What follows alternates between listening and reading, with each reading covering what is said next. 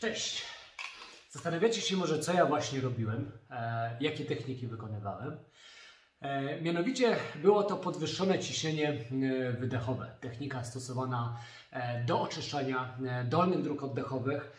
Technika, która ma zastosowanie u pacjenta pediatrycznego, u pacjenta dorosłego, u takiego, gdzie występuje wydzielina w układzie oddechowym. A jak dobrze wiecie, problem wydzieliny w obecnych czasach jest no, dosyć popularny. Nazywam się Mikołaj Kowalski, jestem fizjoterapeutą oddechowym i chciałbym Was zaprosić serdecznie na e, webinar e, dotyczący oczyszczania dolnych dróg oddechowych, gdzie poruszymy e, przenajróżniejsze tematy dotyczące fizjologii oddychania, oczyszczania wydzieliny z układu oddechowego z wydzieliny, e, zawierającej w nim E, poruszymy takie techniki, omówimy takie techniki zarówno w teorii, jak i w praktyce, jak aktywny cykl oddechowy, jak e, technika właśnie podwyższonego ciśnienia oddechowego, jak technika zmiennego ciśnienia wydechowego z wykorzystaniem chociażby takiego urządzenia jak flutter czy a cappella.